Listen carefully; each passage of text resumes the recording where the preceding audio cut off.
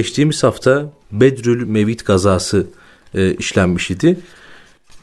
Ve evet.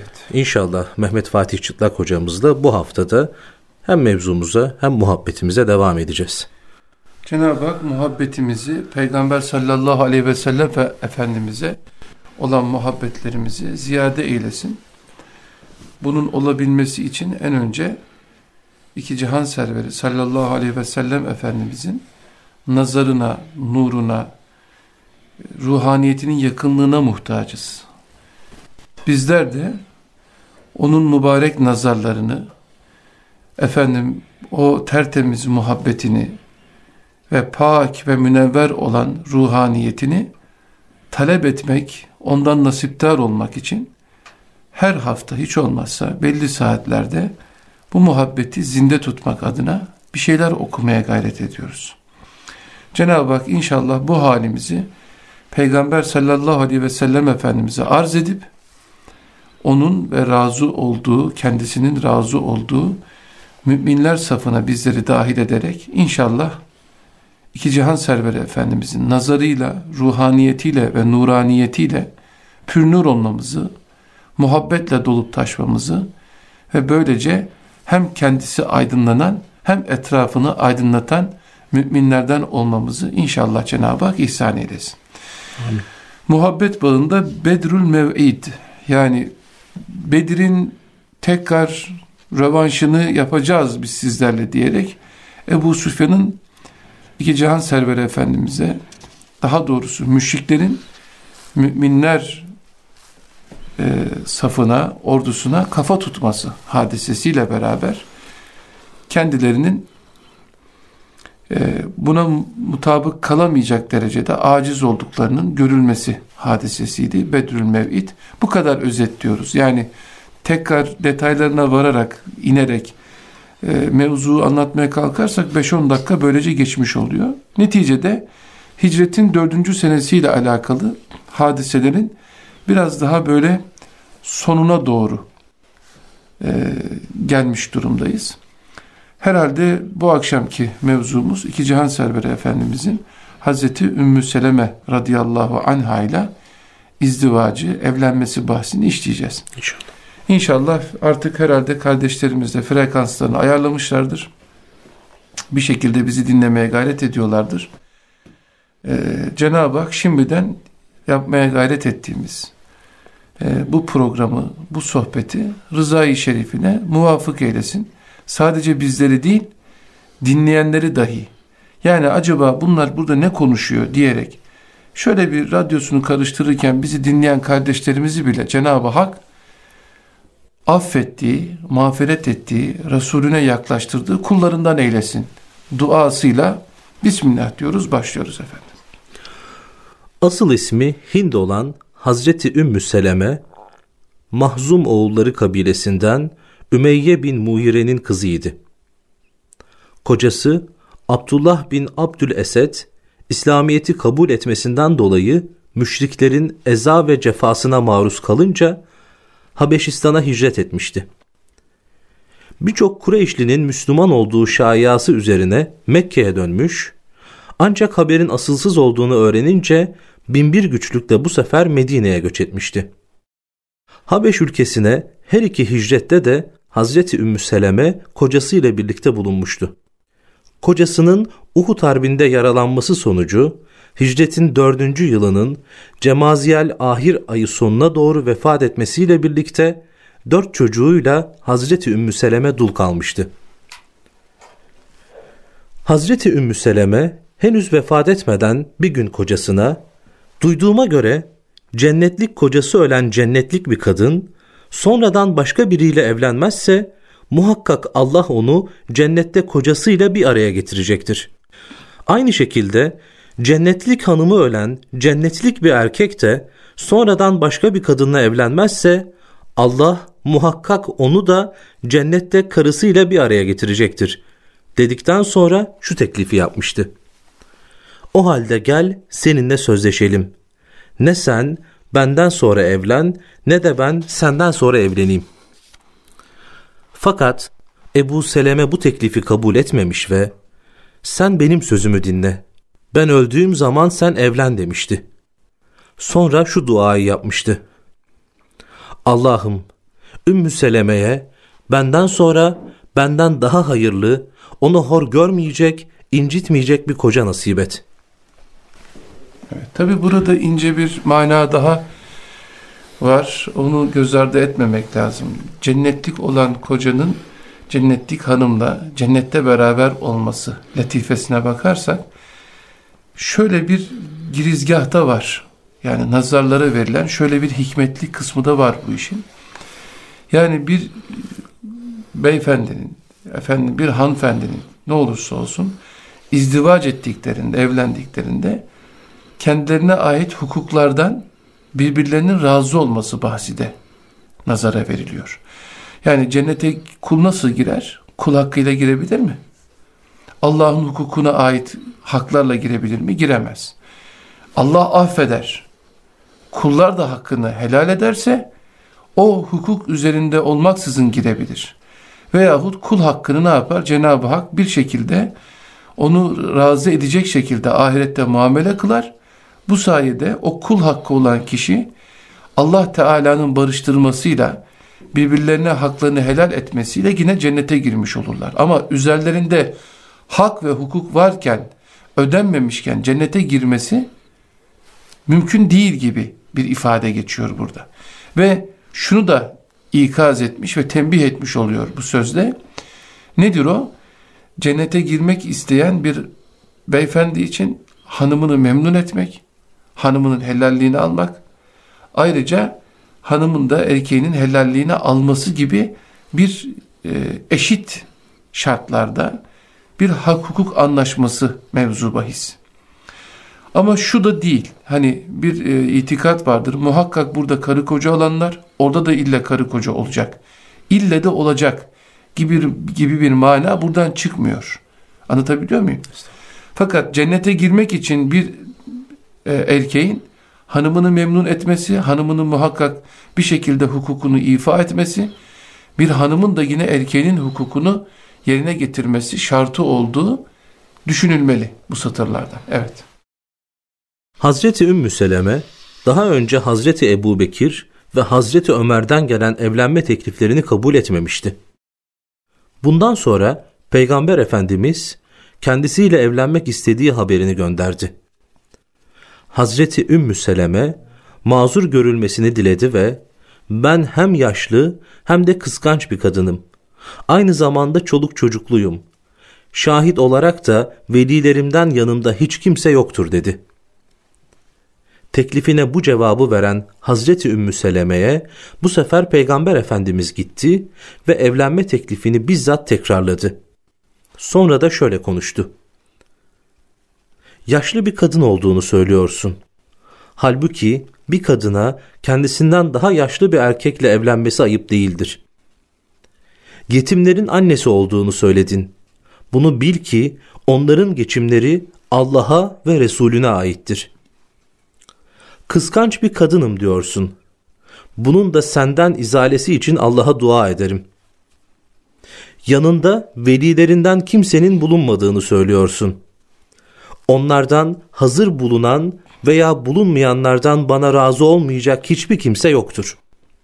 Evet. Bunun üzerine Ümmü Seleme yanında bulunan oğluna dönerek kalk ya Ömer beni Resulullah'a nikahla dedi. Şimdi burada bir duralım. Burada yine iki cihan serveri sallallahu aleyhi ve sellem Efendimizin yüksek ahlaklarından bir numune görmekteyiz. Nedir o? Tabi sayılamayacak kadar belki çok farklı güzellikler konuşuldukça çıkacak efendim üsve-i hasene diyebileceğimiz güzel örnekler vardır. Ama biz birkaç tanesini şöyle bir daha kardeşlerimizle, dinleyenlerimizle paylaşmak istiyoruz. Mesela iki cihan serveri sallallahu aleyhi ve sellem Efendimizin bu izdivacı, bu nikahı şerefli bir hanımın o şerefini ve izzetini aynı şekilde muhafaza etmesi için talip olduğu çok açıktır. Güzellik meselesini hani başkasının iddia etmesini bırakın bizzat Ümmü Seleme validemiz ben yaşlı bir insanım diyerek zaten öne sürmüştür. Dolayısıyla genç kızların birçok e, kendince güzel olan insanların Allah Resulüne talip olmak istekleri olmasına rağmen iki cihan serveri efendimizin bundan sarfı nazar edip ümmetin şereflisi bir hanımı kendi himayesine almak için bu izdivacı yaptığı çok açıktır. Daha evvel de söyledik. Müşrikler zamanında bile yani müşrik olanların Allah Resulüne hakaret ettiği zamanlarda bile Allah Resulü'nün evlenmesine, çok evlenmesine başka bahaneler, süfli, efendim ahlaksız iftiralar yapmak onların bile aklına gelmemiştir. Çünkü hadise o kadar açıktır ki Allah Resulü'nü himaye etmek için, bazı insanları barıştırmak için, zillete düşmesin diye bazı insanları himayesine aldığı o kadar açıktır ki müşrikler bile böyle bir iddiada bulunmamışlardır. Zira tekrarlıyoruz. İki cihan serveri efendimiz istediği hanımla evlenebilecek bir durumda, istediği genç bir insanla evlenecek bir durumda, herkes zaten aman bize teklif etsin diyebilecek bir konumdayken Allah Resulü sallallahu aleyhi ve sellem Efendimiz kendisinin bile ben yaşlıyım, çocuklarım var, böyle bir dulum diyen insana karşı gösterdikleri nezaket ve izdivaç talebine dikkat çekmek istiyoruz. Bu bir. İkincisi, insanlar birbirleriyle izdivaç hususunda çok farklı bir tatbikatta bulunuyorlar. Hele bunu yaparlarken maalesef din adına bunu yapıyorlar. Hanımla erkeğin fikri sorulmalı. Hanımla erkek en önce birbirleriyle anlaştıklarını beyan etmeliler. Sen sus otur oturduğun yerde ben senin yerine hüküm veririm. Evleneceksin sen boşanacaksın diye ebeveynlerin ne kadar hakkı olsa da ikna etmeden, izah etmeden böyle bir izdivacı başlatmak, yapmak veya bozmak selahiyetine sahip değillerdir. Yani başlık parası vesairesi, mihirdi, şuydu, buydu bahanelerine daha ona girmiyorum. Onlar zaten bizim kanayan yaralarımızdır. Mihri, mesela mihir meselesini. Tamam edeben susulur. Aileler kendi aralarında konuşurlar. Hani bir kız çocuğuyla bir erkek çocuğu fikir beyan etmesin diyedir o. Ama neticede mihri kim verir? Erkek verir. Kim ister bunu? Hanım ister. En önce o karı koca olacak, evlenecek insanların kendi aralarında anlaşması lazımdır. Yanlış bir örftür bu. Doğru bir hareket değildir. Erkek namına karar vermek, kız hanımın namına karar vermek. Bunlar yanlış tatbikattır. Nereden anlıyoruz bunu? Bakınız şimdi buraya. İki cihan serveri sallallahu aleyhi ve sellem Efendimiz. Kim ne diyebilir? Dinen bir peygamber ben seninle evleneceğim dedikten sonra kim bunun üzerine konuşabilir? Konuşabilecek bir insan var mı? Herhangi bir dindar anneyi, dindar dini bütün bir babayı düşünün. Ne kadar dini bütün de olsa bir peygamber olabilir mi? Bir peygamberin hukukuna sahip olabilir mi? Peygamber Efendimizin kendisine yöneltilen itirazlara o itirazlara cevap mahiyetinde konuştuğu işte nezaketi peygamberiyedir. İşte dinin izdivaca, evlenmeye bakış tarzıdır. Sen böyle böyle söylüyorsun. Ama bak senin bu yaşlılığın mevzu bahis olabilir ama ben senden daha yaşlıyım. İzah ediyor. Sen kim oluyorsun da peygambere bunu soruyorsun? Sen nasıl olur da peygambere reddediyorsun diye bir şey söylüyor mu? Söylemiyor. Niçin söylemiyor? Çünkü Allah'ın hukukunda nikahlanan insanların birbirinden razı olması lazımdır. Onun namına karar vermek örf olarak uygulansa da İslam'ın evlenme tarzına uygun değildir. Bunu herkesin bilmesi lazımdır. Dedelerimizden böyle gördük. Biz utanırız. Babamızdan, atamızdan böyle işittik sözleri. O yörenin, o örfün adetidir. İslam'ın nikah tarzına uygun değildir. Sonradan sakatlıklar çıktığında kimse bunu dini vecibelere, farzlara, sünnetlere bağlamaya kalkmasın. Arz edebiliyor muyum? Estağfurullah. Muhakkak istişare lazımdır. Muhakkak ki insanlar evlendiğinde sadece bir hanım, sadece bir erkek almaz. Aileler birbirleriyle birleşir. Fakat neticede, netice ne? Daha doğrusu. Neticede, neticenin ne olduğuna bakmak lazım. Bir insanla diğer bir insanın en önce razı olması lazım. Bütün herkes bunu istiyor, iki insan razı değil. Bu İslam'ın nikah şartına uygun değildir. Bunu buradan arz etmek istiyorum. Ve ilan etmek istiyoruz tekrar. İşte sünnet-i seniye diyorlarsa sünnet-i seniye de buradadır. Çocukların var diyorsun. Bunu gerekçe olarak öne sürmüşsün. Sen nasıl oluyor da bunu peygamber senden nikah istediği halde öne sürüyorsun dememiştir Fahri Alem Efendimiz. Bak o çocukların, yetimlerin bakımı benim üzerimedir. Allah'ın ve Resul'ün izniyle onların ben hamisi olacağım. Onları bir kenara bırakmayacağım ki diyerek ikna ve razı etme metodunu kullanmıştır. Ve karşıdaki insan böyle bir izdivaca daha muhtaç olduğu halde, Peygamber Efendimizin böyle bir nikaha ihtiyacı olmadığı halde ne kadar ikna edici ve yine kendisi peygamber olduğu halde ne kadar ikna edici cevaplar verdiği nazarlardan kaçmamalıdır ve İslam'ın evlenme akit, nikah aktine nasıl baktığı işte buradan çok iyi anlaşılmalıdır. Bunu lütfen unutmayınız. Lütfen buradan bir defa daha hatırlatıyoruz sözleriyle atlarını çizerek sizin okumanıza tekrar dönelim. Evet. Eyvallah. Böylece Cenab-ı Hak Ebu Seleme'nin vefatından önce Allah'ım Ümmü Seleme'ye benden sonra benden daha hayırlı, onu hor görmeyecek, onu incitmeyecek bir koca nasip et tarzında yaptığı duasını kabul buyurmuş ve Ümmü Seleme'ye insanların en hayırlısına hanım olmayı nasip etmiş oluyordu. Evet. Resul-i Ekrem Efendimizle evlendiğinde 44 yaşında bulunan Hazreti Ümmü Seleme hicretin 59. senesinde 84 yaşındayken vefat etti. Ümmü Seleme validemizi nikahlamak için Cenab-ı Sıddık-ı Ekber ve Hazreti Ömerül Faruk Efendimizin nikahlarına talip olmasındaki sebep de budur. Ümmet içerisinde yetimleri olan, kocası şehit olmuş bir hanım, fedakar bir hanım olması hasebiyle onlar da yine bir hizmet ve gerçekten İslam ahlakına yakışır bir şekilde e, rağbetlerinden kaynaklanmaktadır. Dolayısıyla iki cihan serveri sallallahu aleyhi ve sellem Efendimiz bu şekilde Ümmü Seleme validemizi tahtı nikahlarına almış oluyorlar. Evet. Cenaze namazını Ebu Hureyre kıldırdı. Baki. Baki. Orayı bir daha okuyalım istiyorsanız. Ben kestim. Bir daha baştan alarak okuyalım efendim. Evet. Resul-i Ekrem Efendimizle evlendiğinde 44 yaşında bulunan Hazreti Ümmü Seleme, hicretin 59. senesinde 84 yaşındayken vefat etti. Cenaze namazını Ebu Hureyre radıyallahu an kıldırdı ve Baki mezarlığına defnedildi. Okuma bilen fakat yazmayı öğrenemeyen Hazreti Ümmü Seleme, fıkı iyi bilenler arasında yer alıyordu. Resul-i Ekrem Efendimiz'den rivayet ettiği hadis sayısı 378'dir. Allah Allah.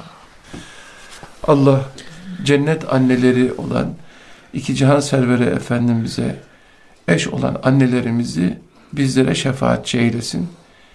İnşallah Allah Resulü'nün hane-i saadetinde bulunmaları hasebiyle o vesileyle onlara dua ediyoruz onlara Cenab-ı Hakk'ın tardiyesini, rıza-i şerifini e, dualarımızla gönderiyoruz. Bu vesileyle Cenab-ı Hak bizleri bu annelerimiz vesilesiyle Allah Resulüne de yakın eylesin inşallah.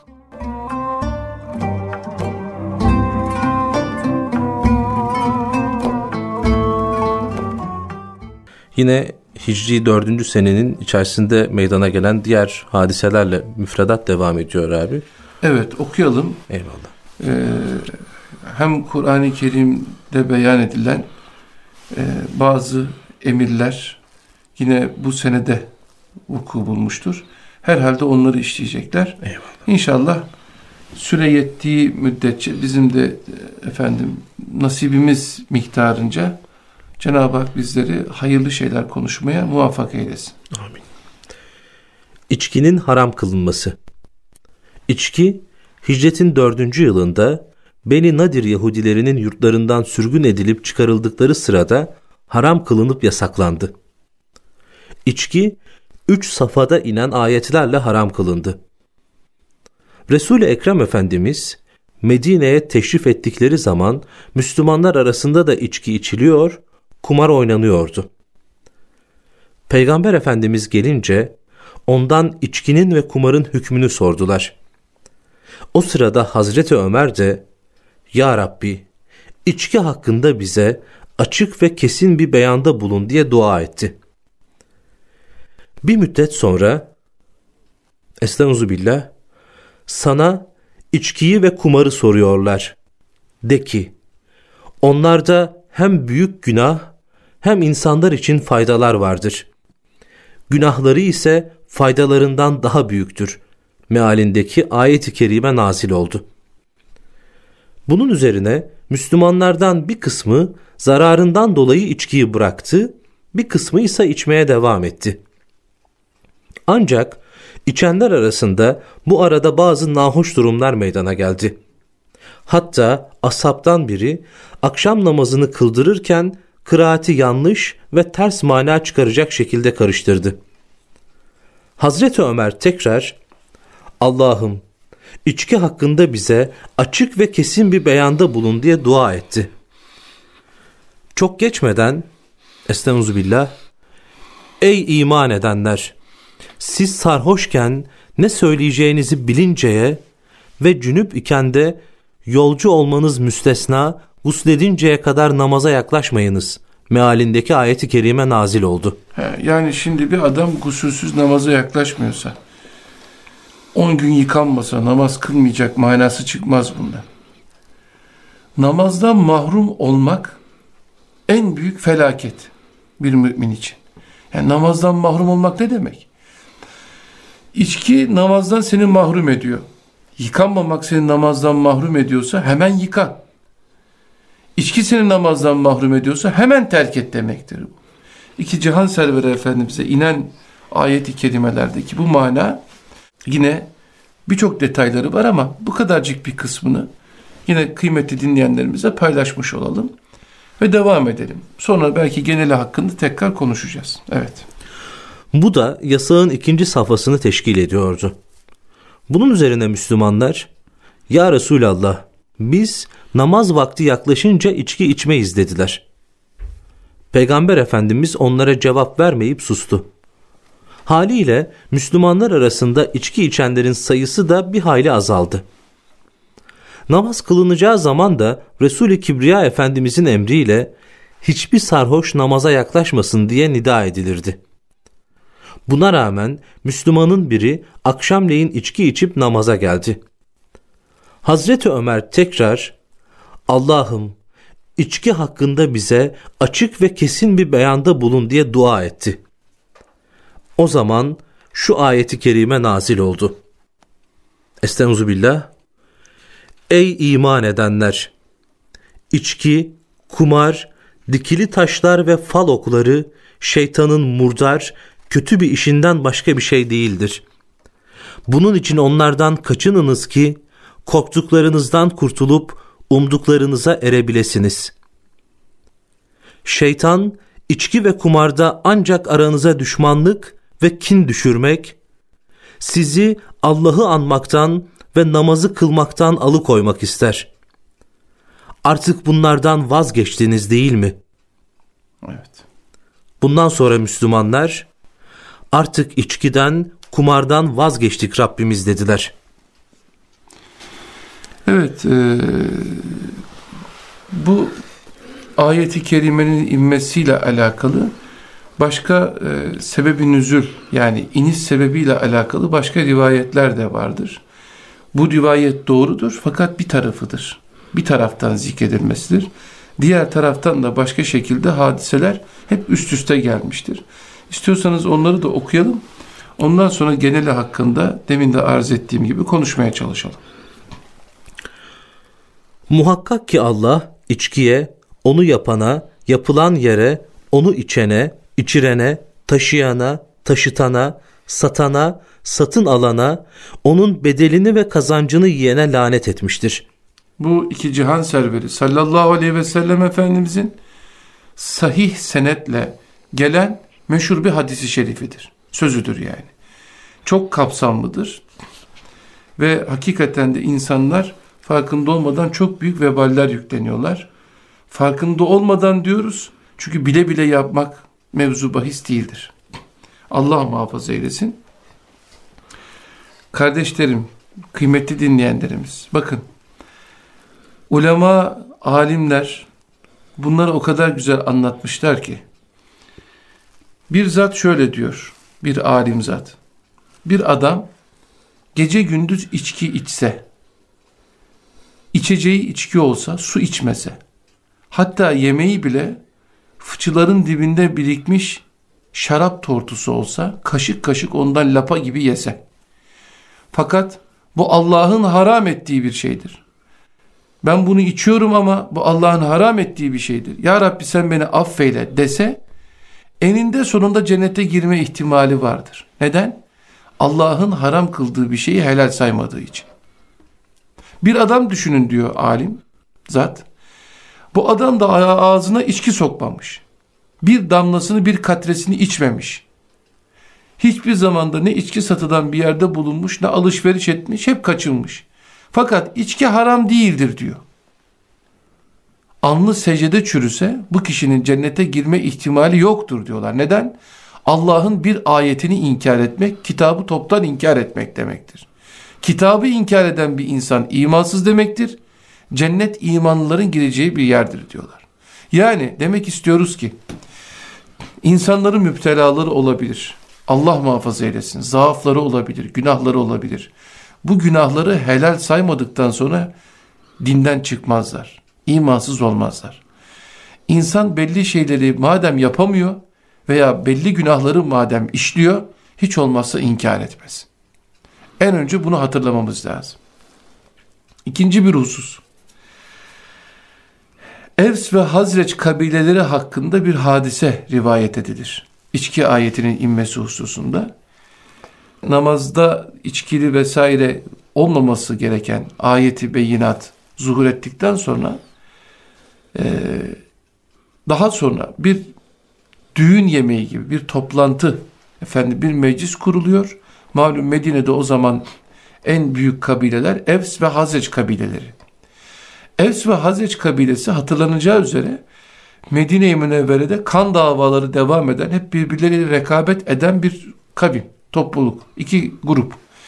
Allah Resulü sallallahu aleyhi ve sellem Efendimizin Medine'yi şereflendirmeleri hasebiyle bu iki birbirleriyle münakaşa, münazara, çatışma halinde olan kabileler birbirlerine muhabbet eder hale geliyorlar ve güzel bir kardeşlik teessüsü zuhur ediyor. Fakat bir gün içki meclislerinde meclislerinde bulunduğu efendi bir ortamda yine böyle kendilerince konuşurlar ederlerken içkinin getirdiği aklı giderme hassasından dolayı birbirlerine karşı saygısızlık etmeye başlıyorlar. Münazaralar münakaşaya dönüyor. Münakaşalar artık kavga şeklini alıyor ve hatta birbirlerine yemekte oldukları e, devenin kemikleri efendim o ziyafette bulunan hayvanların kemikleriyle falan saldırarak birbirlerini yaralıyorlar. Bunun üzerine ayeti kerime zuhur ediyor. Ve işte siz adeta işaretle size ikaz olundu. Bir daha bir işaret yapıldı. Çünkü içki öyle hayatlarında ki yani şimdi nasıl hani bazı televizyonlarda şurada burada rahatlarsın al bir tane iç bir tane içki içtim. Ya çok içmem arada bir içerim partideydik içtim falan gibi çok rahat söyleniyor ya. O zamanlar yani içkisi olmayan insan evinde şarabı olmayan bir insan eksik sayılıyor. Yani evi olmamak falan gibi bir şey bir bineği olmaması gibi falan sayılıyor. Çok eski adetleri şarap içki içmek Cenab-ı Hak bu işin tedrici olarak yapılması gerektiğine işaret ederken şunu da vahyin getirdiği incelikten anlayabiliriz. İçkiden vazgeçirmek bir cemiyet işidir. Ve ikna etme meselesidir. İnsanın bunu kafasından çıkartması, bu zaafından kurtulması, beraberce yaşadığı toplumun gereği şeklini almazsa, insan tek kalırsa veya toplum onu içkiye sevk ederse bu beladan kurtulamaz. Bunu çok güzel bir şekilde vahyin iniş sırası göstermektedir. Bu ayet-i kerimenin iniş sebebine tekrar hatırlatıyorum arkadaşlarımıza, dinleyenlerimize, kardeşlerimize. Evs ve Hazreç kabilelerinin birbirleriyle olan münakaşalarının tekrar içki yüzünden zuhur etmesindendir. Eskilerin güzel böyle deyişleri vardır. Şöyle derdi benim rahmetli hocam. İçki hangi ocağa döküldüyse söndürmüştür. Güzel bir cinaslı bir şey. Hangi ocağa düştüyse söndürmüştür. Hakikaten de birbirlerine muhabbet eden insanların birbirlerine içki içtikten sonra hakaret ettikleri bir gerçektir. Bazısı der ki Aa, çok iyi adam bir tek içiyor. Çok iyi adam bir tek kumarı var. Yine benim hocalarımdan bir tane söyle derdi. Yahu derdi bir insan bütün günahları işleyemez ki zaten. Yani bir adam hem kumarbaz hem efendim ayyaş hem zampara hem dolandırıcı vakit yetmez ki. İlle bir tanesinden bir tanesini yapar. Yani insan kendisini avutmamalı. Ya çok adam bir tek içkisi var. Çok adam bir tek kumarı var. Bunlar yenir yutulur sözler değildir. İslam açısından baktığımızda. Bu bir kabahattir. Büyük bir ayıptır. Bunu telafi etmek lazımdır. Biraz uzatıyorum mevzu ama hazır böyle yeri gelmişken bir şey daha hatırlatayım. İmam-ı Rabbani Faruk-u Serhendi Müceddide El-Fisani ismiyle meşhur olan İmam-ı Rabbani Hazretlerinin meşhur bir kitabı vardır, eseri vardır. Mektubat isminde. Bu mektubatta seneler evvel bir derste bir güne hoca efendinin okuttuğunu burada zikretmek istiyorum. Hatırladım.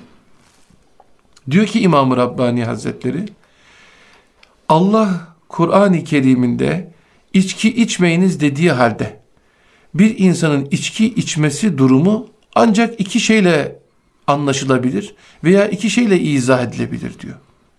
Bir, birinci sebep Allah Teala'nın sözlerini kabul etmemekle alakalı olabilir diyor. Yani Allah bunu böyle söyleyebilir ama ben Allah'ı dinlemiyorum der. Bu da diyor zaten kafirlerin halidir. Kur'an'ın bir ayetini inkar etmekle alakalıdır. Bu da amentü billahi. Çünkü amentü billahi ve melaiketihi ve kütübihi ve rusulihi diye zikrediyoruz ya böyle. Ne demektir o? Kitaplarına inandım derken kitaplarına inandım ne demektir? Allah'ın kitabında geçen her ayete inandım demektir. İman ettim demektir. Bir adam içiyorsa diyor hala yani Allah böyle söyleyebilir ama ben inanmıyorum bunu Allah'ın söylediğine. Diyordur ve Allah'ın ayetini inkar ediyordur diyor. Ya böyle izah edilir? Çünkü Allah'ın ayeti var olduğu halde içki içmesi başka türlü izah edilemez. Ya da diyor şöyle izah edilir. Evet bunu Allah söylemiştir der. Fakat Allah'a itibar etmesi bir deliye, mecnun, akılsız bir insana itibarından daha azdır der. İmam-ı Rabbani. Yani bir delinin sözü kadar bile Allah'ın sözüne itibar etmiyor.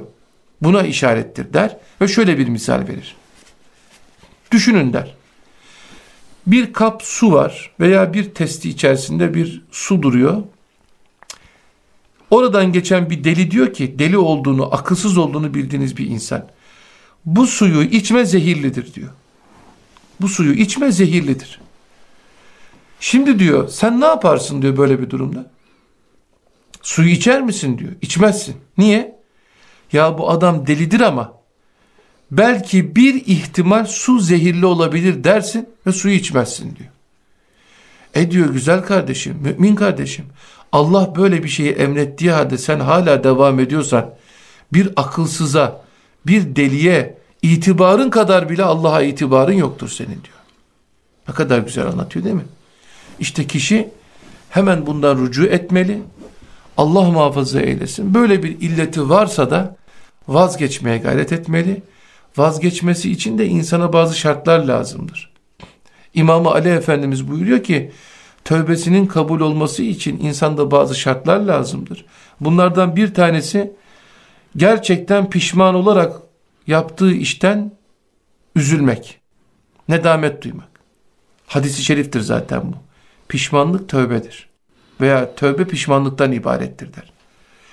Gerçekten ben bunu nasıl yaptım diye bir nedamet hissine sahip olacak. Bu bir.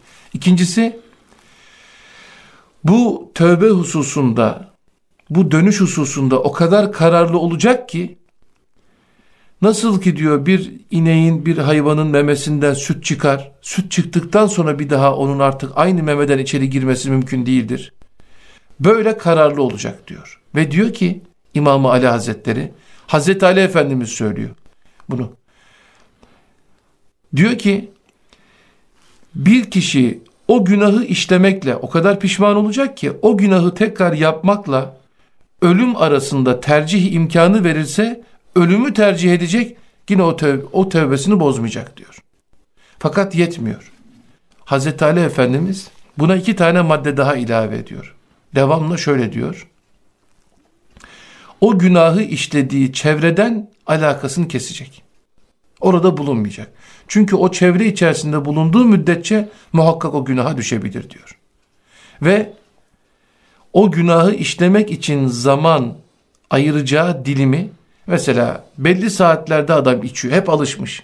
Saat 8'de 10 arası içiyor diyelim. O saatlere muhakkak bir ibadet taat koyacak.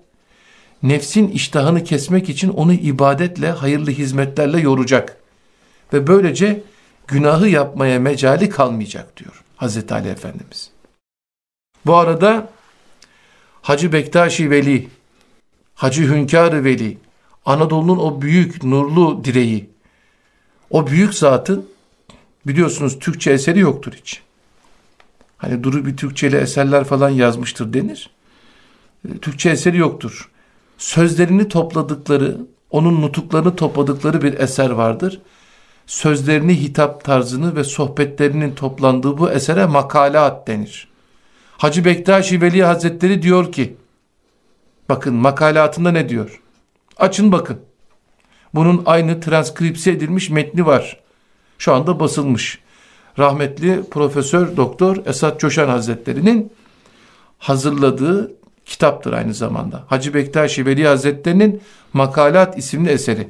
Onda diyor ki, değil diyor içkiyi içmek. Bana mensup olduğunu söyleyen, Bektaşi olduğunu söyleyen kardeşlerime söylüyorum diyor. Bana mensup olduklarını söyleyen müritlerime vasiyetimdir diyor Hacı Bektaşi Veli. Bir kuyuya bir katre şarap damlasa, o kuyudan çıkartılan suyla otlaklar sulansa, o otlaklardan kuzular koyunlar yese, benim dervişime bana kendisini isnat eden, Bektaşiyim diyen kişilere o otlaktan yiyen koyunun eti ve sütü haramdır diyor. Hacı Bektaşi Bey. Allah buna müsaade etmiş. Fakat ben öyle bir ihtisas sahası, öyle bir terbiye veriyorum ki benim verdiğim terbiyeyi almak istiyorlarsa çok dikkatli olacaklar diyor. Hiç şüpheli bir şey olmayacak. Arz edebiliyor muyum? Ve şunu da unutmamak lazım. Hazreti Ali Efendimiz de bir parça kumaşına böyle bir şarap gibi bir şey damlamış. Kumaşını yıkamaktan bile imtina etmiş, yırtıp kesip atmıştır. Bunu da unutmamak lazım. Hacı Bektaşi Veli'nin sözünü de burada bir hatırlatarak bir velinin sözünden Bektaşiye'nin nasıl bir uslup içerisinde Allah'ın emirlerine ve yasaklarına ne kadar itibar ettiklerini göstermesi açısından da bir numune teşkil etmesi açısından da misal olarak getirmiş olduk.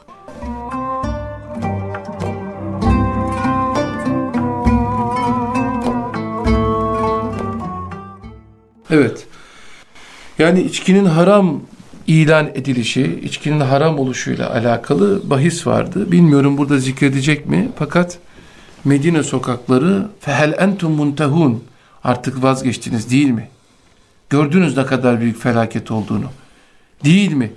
Sözü o kadar tesir, tesir etmiştir ki sahabe-i kiram hazıratı diyor ki Medine-i Münevvere sokakları şarap akıntılarıyla akıntılarıyla aktı durdu. Sel gibi. O 50 senelik 60 senelik artık atalarından dedelerinden çok hususi efendim mahzenlerde vesairede kalan yani büyük bir şimdi diyorlar ya şarap kültürü falan diye. İşte nasıl bir şeyse o Allah'la aramızı açacak he? Aman dediler diyor.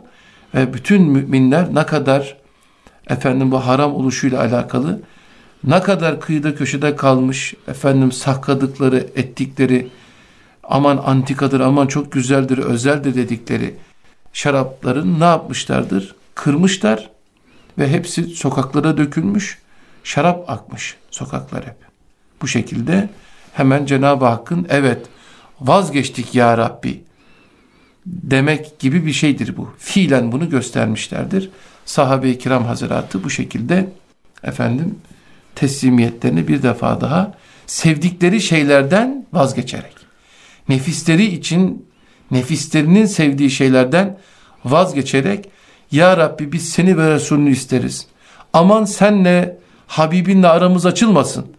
Aramızı açmasın hiçbir şey. Bütün sevdiklerimizden biz vazgeçeriz.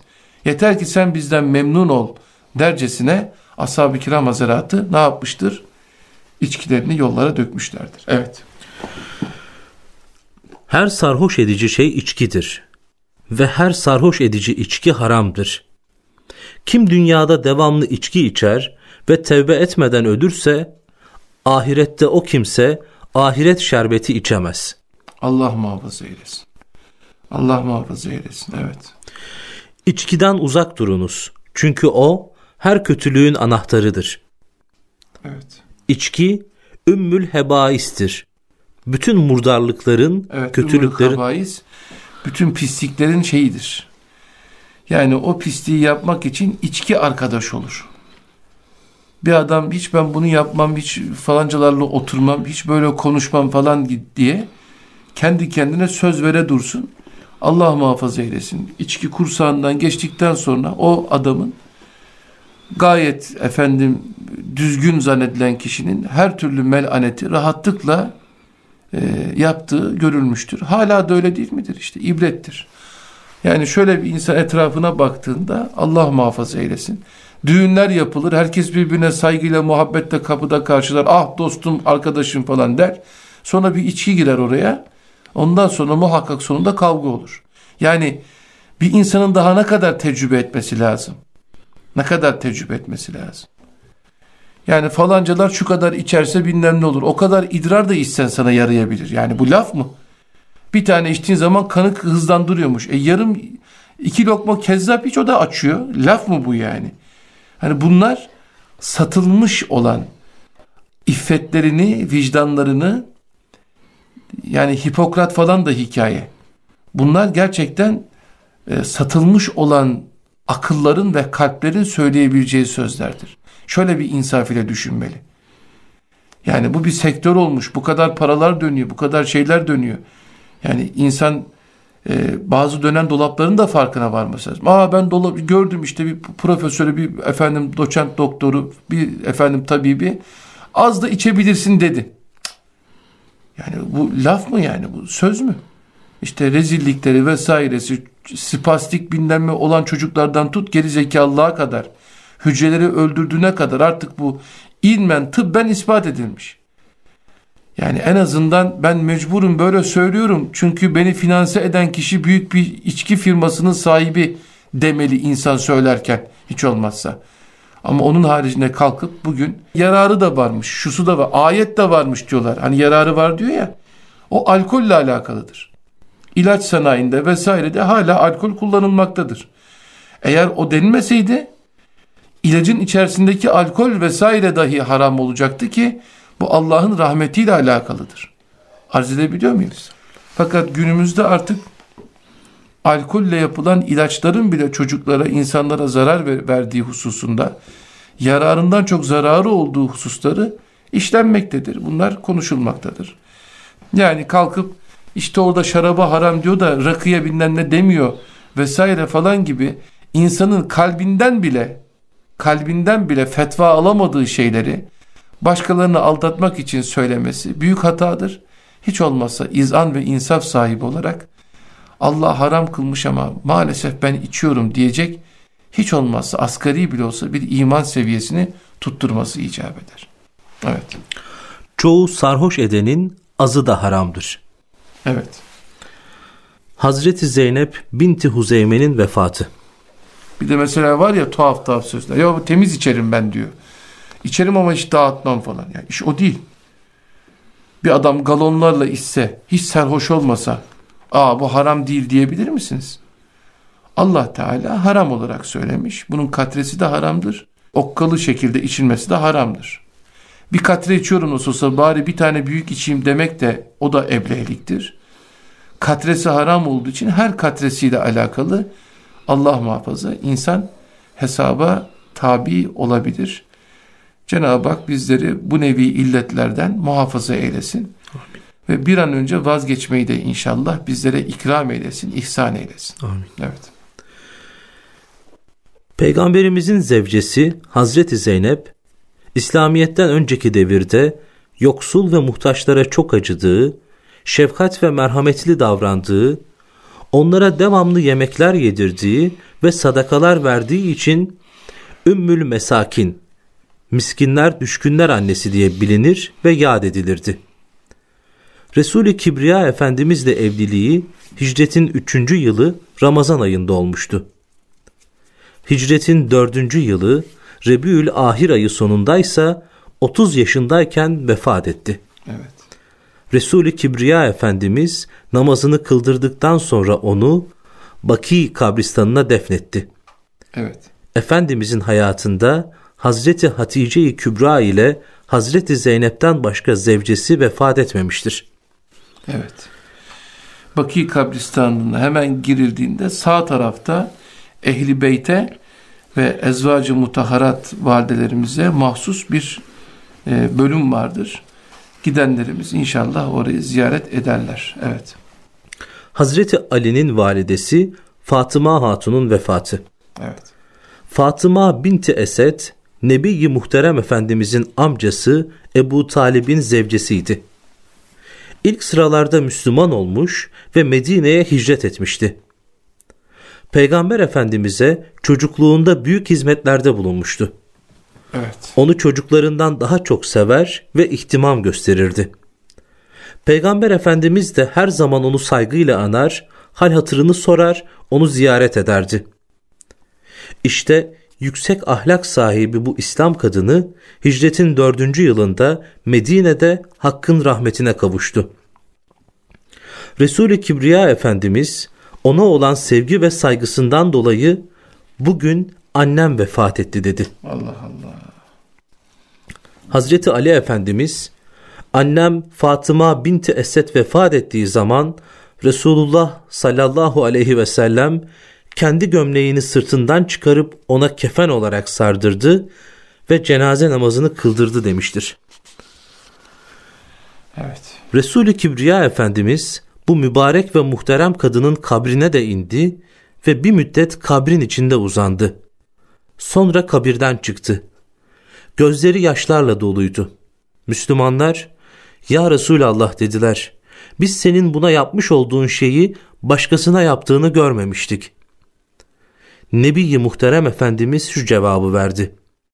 Ebu Talip'ten sonra bu kadıncağız kadar bana iyiliği dokunan bir başka kimse olmamıştır. Ona cennet elbiselerinden giydirilsin diye gömleğimi kefen olarak giydirdim. Kabir hayatı kendisine mülayim ve kolay gelsin diye de kabirde yanına uzandım. Allah Allah. Hala diyorlar ki iki cihan serber efendimizin şefaati var mıdır yok mudur? Allah ıslah eylesin. Allah ıslah eylesin. İslahları mümkün değilse Allah onların fitnelerinden Peygamber sallallahu aleyhi ve sellem Efendimiz'e karşı duyduğumuz muhabbeti ifsat etmelerinden bizleri muhafaza eylesin. Amin. Üzerine giydirdim ki diyor cennet libası giymesine vesile olsun. Yanına uzandım ki cennette ona arkadaş olsunlar. Hoşnut olacağı bir kabir hayatı olsun. Resulullah Efendimizin daha fiilen yaptığı şeyler bile hemen Cenab-ı Hakk'ın katında ne kadar makbul. Hala diyorlar ki öldükten sonra şefaat eder mi, etmez mi, var mıdır şefaat, yok mudur diye konuşuyorlar. Allah ıslah eylesin. Yani söylenecek hiçbir şey yok.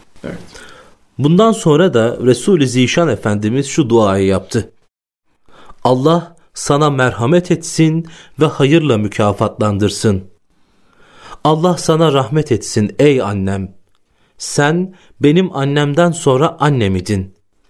Kendin aç durur, beni doyururdun. Kendin giymez, beni giydirirdin. En iyi nimetlerden nefsini alıkoyar, bana tattırırdın. Bunu da ancak Allah rızasını ve ahiret yurdunu umarak yapardın. Allah ki diriltendir, öldürendir. Hay ve kayyumdur o.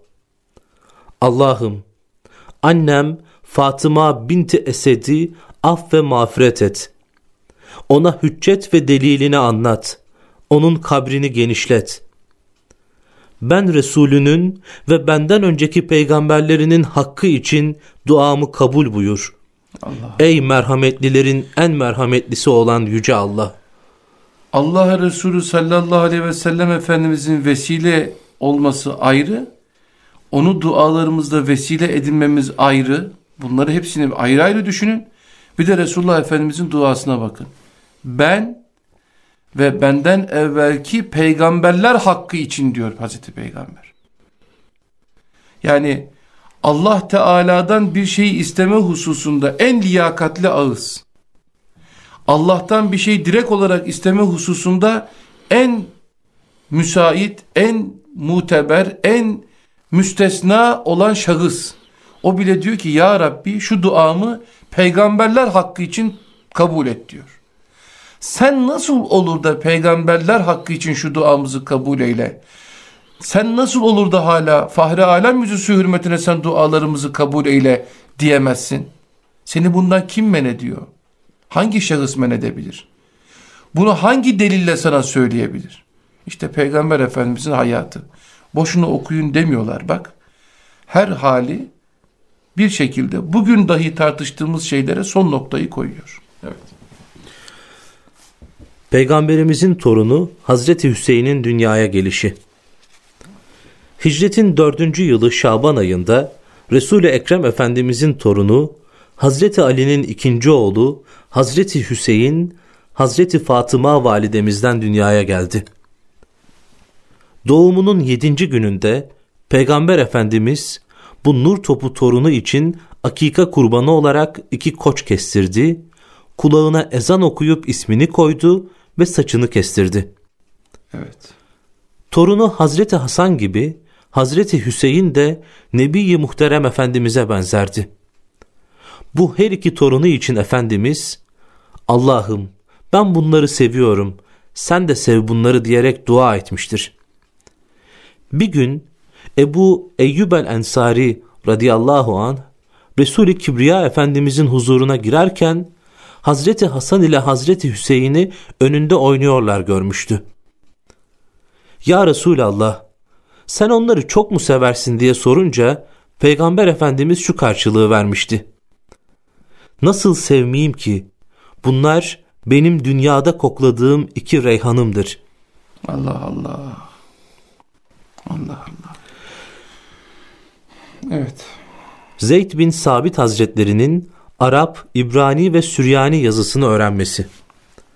Evet. Zeyd bin Sabit radıyallahu anh hicretten önce Evs ve Hazreç kabileleri arasında Boğaz günü vuku bulan çarpışmalarda babasının ölmesiyle yetim kalmıştı. O sırada 6 yaşındaydı. Resul-i Kibriya Efendimiz Bedir'de esir alınan Kureyş müşriklerinden mali durumu fidye-i necat ödemeye müsait olmayan her birisinin Ensar çocuklarından 10 çocuğa iyice okuma yazma öğrettiği takdirde serbest bırakılacaklarını bildirmişti.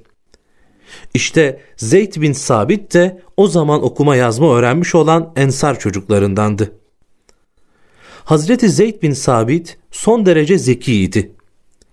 Hicretin dördüncü senesinde Resul-i Ekrem Efendimiz kendisine Yahudi yazısını yani İbranice'yi öğrenmesini emretti ve ben yazılarımı onların değiştirmeyeceklerinden emin değilim buyurdu.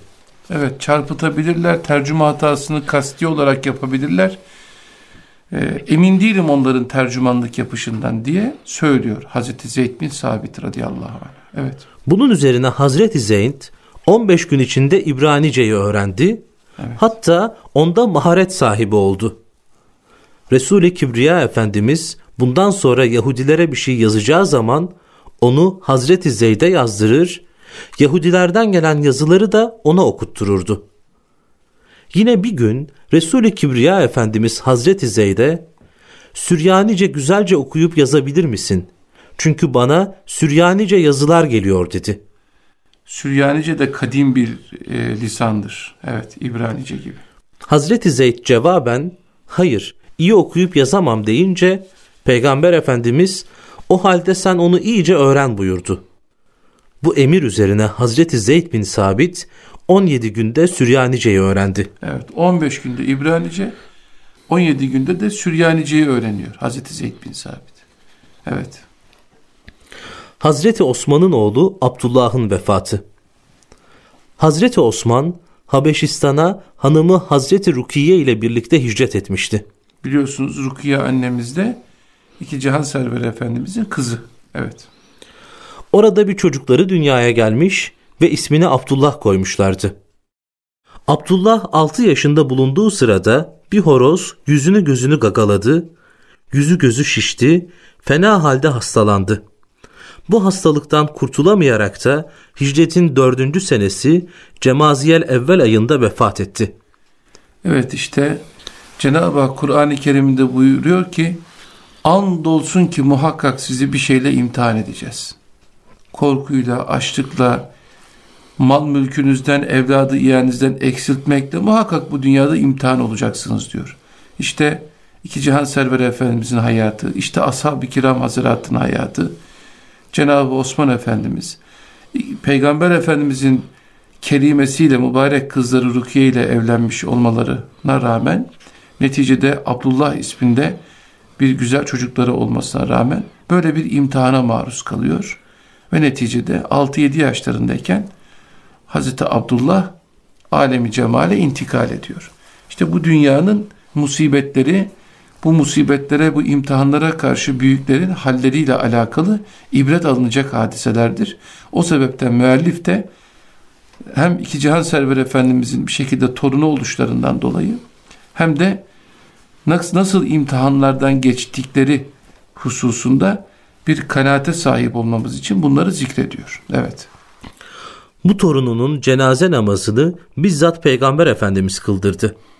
Kabrine ise onu babası Hazreti Osman indirdi. Abdullah'ın mezar taşını diken Resul-i Kibriya Efendimizin gözlerinden yaşlar döküldü. Şöyle buyurdular. Allah Teala kullarından merhametli ve yufka yürekli olanlara rahmet eder. Evet. İnsan ölümden ibret almalı. Böyle vefat hadiseleri karşısında e, gerekli hüznü yaşamalı. Fakat Allah Resulü mahzun olduğu için bu hadiseden dolayı bizlerin şu anda mahzun olması bile şu müjdeye binaen affımıza, mağfiretimize vesile olabilir. İnşallah Cenab-ı Hak Allah Resulü ile sevinen ve Allah Resulü'nün üzüldüğü şeylere üzülen bahtiyar kullardan olmayı bizlere nasip eylesin. Amin. Muhabbet bağımızı böylece zinde, kaim ve daim eylesin. Ve sallala eşrefi ve es'adi nuri cemi'il enbiya'i vel mürselin velhamdülillahi rabbil alemin.